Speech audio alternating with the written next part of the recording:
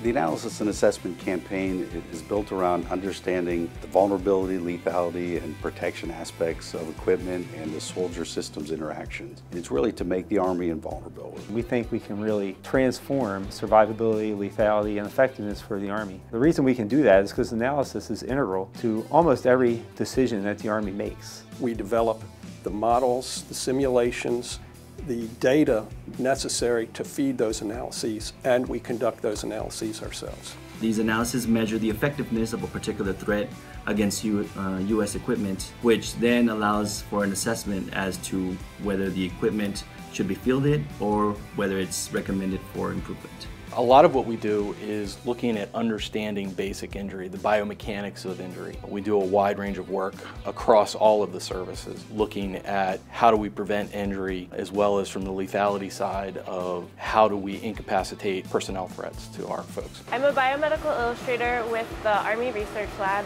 The room we're in right now is the uh, mobile CT machine.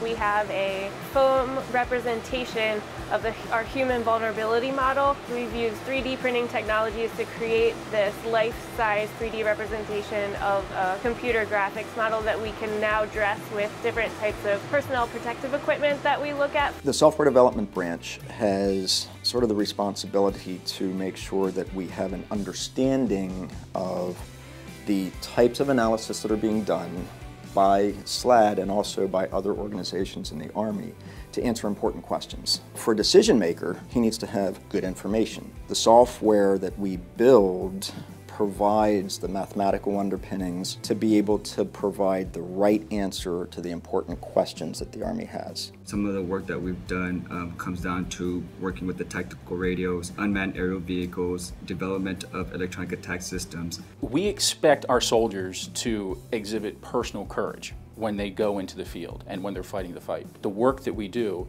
is important to making sure that they have the material they need to back them up when they go into that fight.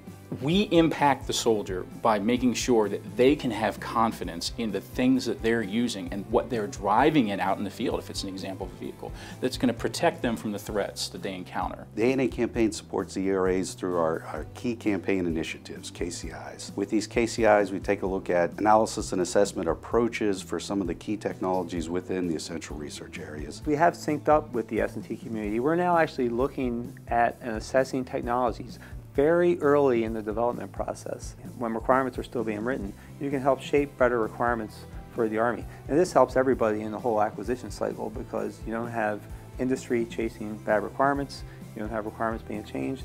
One of the big challenges we have in the future is how do you actually predict and analyze multi-domain effects. If you think about cyber and electromagnetic warfare, they permeate throughout everything we do within the Army. And the pace of technology is moving extremely fast. So we have to be able to keep up with that pace, but then also have analysis tools that can deal with the complexity of a multi-domain environment. We're thinking about that deep future that ARL has to address. 2030 to 2050 timeframe. We think that you know the Army can be invulnerable someday in the future based on the analysis tools we provide.